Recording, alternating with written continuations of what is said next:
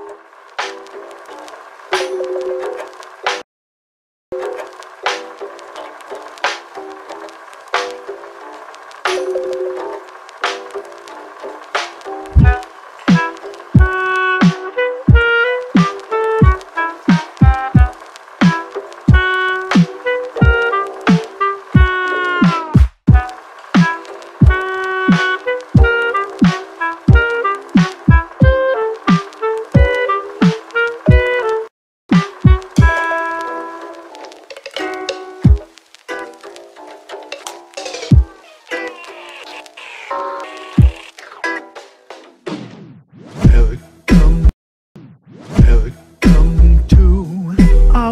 Wicked little fascinations right on time to join us for the ride.